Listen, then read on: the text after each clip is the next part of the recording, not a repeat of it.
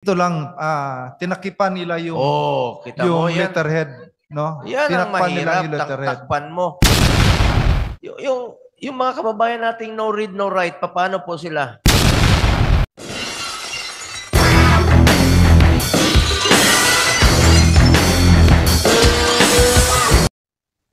quote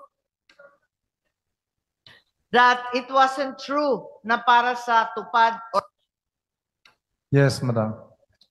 Actually, madam, during uh, uh, last January 9, I received the uh, information from my uh, neighbors na there was a gathering from the house of uh, ex-barangay Captain Rolando Trahira.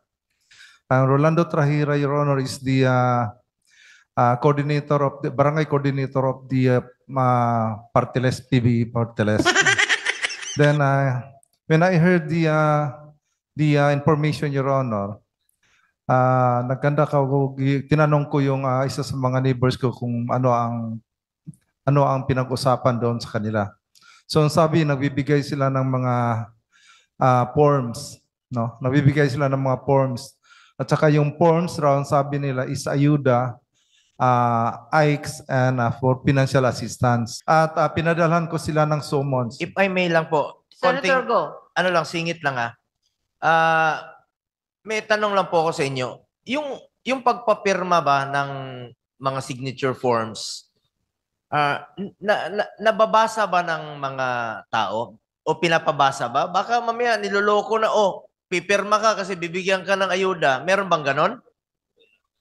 Wala, Your Honor. Ganito ang, ganito ang sabi ng mga tao ko, Your Honor.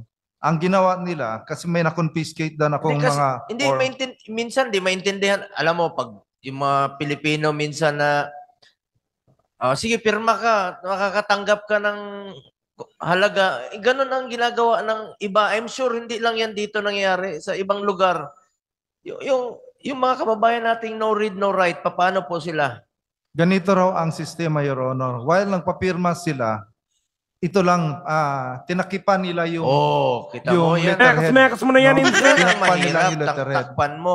At saka pinapirma sila sa ganito at mayroong ah, sabi na ayuda yan, Oh, yun. tupad at saka ICE. Yan ang dapat tingnan ng ah, ah, COMELEC, ah, sir, at ng ah, buong komisyon, no?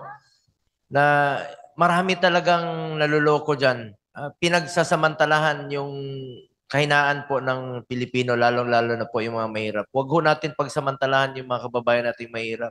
Naghihirap na nga, pinapahirapan pa, eh pera naman nila yan. Pera ng Pilipino yan. Tama ka dyan, Senator Bongo.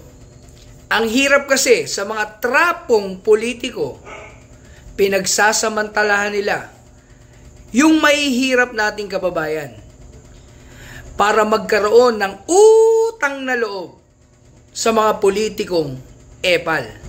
Attorney Migs ng PBA Party List, ganun na ba ang pagpapapirma? At yan ang gusto nyong ipaintindi sa mga Pilipino na ganyan ang tunay at kagustuhan ng mga Pilipino sa pagbabago ng konstitusyon? Kaya po mga ka-old school, wala po tayong problema sa pagbabago ng saligang batas. Pero hindi sa lideratong nagaharing uri ng Kongreso at katulong ang mga magigiting na congresswoman ng party list. Sabi nga natin, ang party list, hindi naman lahat. Ang party list ay ginawa para may extension ng power ang mga trapong politiko na ayaw bumaba sa pwesto. Ingat!